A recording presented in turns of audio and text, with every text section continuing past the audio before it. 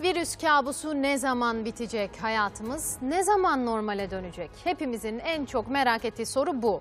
Öngörülerse o günün çok uzakta olmadığı yönünde. Önümüzde ortalama 7 haftalık bir süreç var.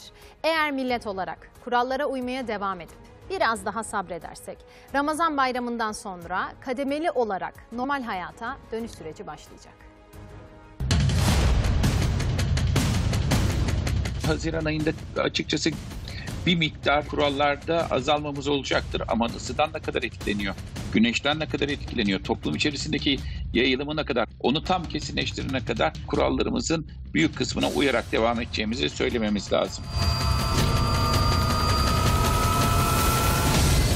Müjdeyi Bilim Kurulu üyesi Profesör Doktor Ateş Kara verdi. Koronayla mücadelede zoru başarmak üzere miyiz? hasta artış hızımızın düştüğü, ölüm artış hızımızın durağan bir döneme girdiğini, yoğun bakım doluluk ve entübe yani ventilat- ventilatörlerimizin doluluk oranı şu dönemde stabilleşti. Sağlık Bakanı Fahrettin Koca tedavide sağlanan üstünlük nedeniyle iyileşen hasta sayısının 10 binin üzerine çıktığını, artan test sayısına rağmen de yeni vaka sayısında düşüş yaşanmaya başlandığını söyledi. Eğer gevşemezsek bu tedbirlerde biz e, Mayıs sonu Haziran başı gibi bitiririz.